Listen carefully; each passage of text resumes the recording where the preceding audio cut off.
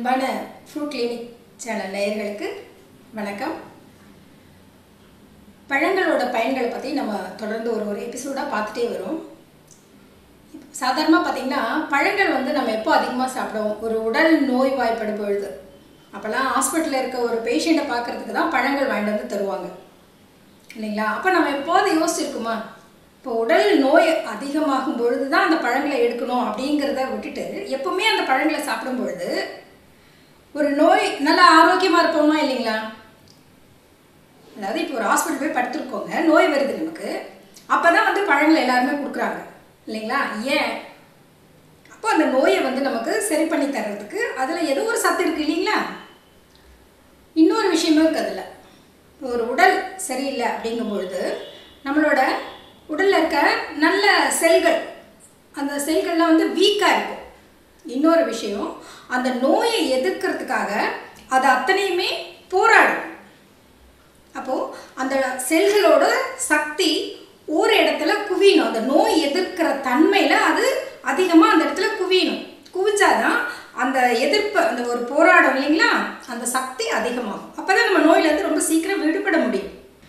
பழங்களில் நார் சத்து ரொம்ப அதிகமாக இருக்குங்க. இந்த நார் சத்து தான் நம்ம சாப்பிடக்கூடிய உணவை அதிகமாக ரொம்ப சீக்கிரமாக செரிமானம் பண்ணும். அதில் இருக்க சத்துக்களை எடுத்து கொடுக்கும். அப்போ இந்த நார்ச்சத்துக்கள் பழங்கள் அதிகமாக இருக்கிறதுனால தான் அது அவங்க உடம்பு நமக்கு இயலாத சமயத்தில் ஒரு காய்ச்சல் வரும்போது இல்லை எந்த விதமான உடல் பாதிப்புகள் இருந்தாலும் அதிலிருந்து மீண்டு வர்றதுக்கு ஒரு சப்போர்ட்டிவாக தான் இந்த பழங்களை நம்ம தரோம். இப்போ இதை விடுத்து நம்ம ஒரு சாப்பாடோ இல்லை வந்து ஒரு செரிக்கிறதுக்கு டைம் எடுக்கிற வேறு பொருளோ எடுக்கும் பொழுது இந்த செல்லெல்லாம் என்ன பண்ணும்? அந்த செரிமானத்துக்கான வேலைகளுக்கு திரும்ப ஒரு உணவு கொடுக்கணும்.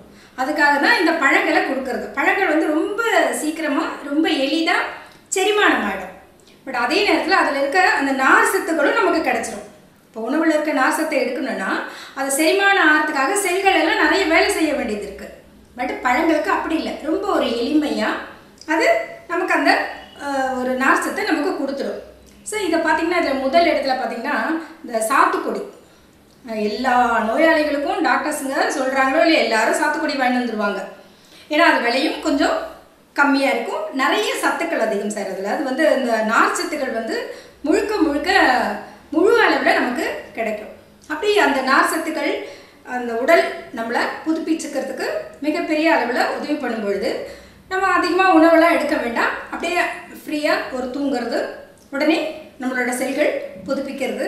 என்ன இப்போ ஒரு காய்ச்சலாக அந்த காய்ச்சலேருந்து நம்ம வெளியில் வர்றதுக்கு அப்புறம் ஒரு உடல் ஒரு எலும்பு உடஞ்சிருச்சு இல்லை ஒரு தசை இதான் எந்த பிரச்சனையாக இருந்தாலும் அது நமக்கு உடலே தீர்த்து கொடுத்து ரொம்ப சீக்கிரமாக அந்த நோயிலிருந்து நம்மளை விடுபட வச்சிடும் இப்போ சாத்துக்குடியில் வந்து அதிகப்படியான நார்ச்சத்துகள் இருக்குது அதை பிழிஞ்சு நம்ம அப்படியே அந்த நோயாளிகளுக்கு கொடுக்கும் பொழுது அது அந்த நோய் எதிர்ப்பு சத்துக்கு ஒரு பெரிய சப்போர்ட்டிவாக இருக்குது நோய் வந்ததுக்கப்புறம் சாப்பிடும் பொழுது அது நம்மளை மீட்டு கொடுக்குது.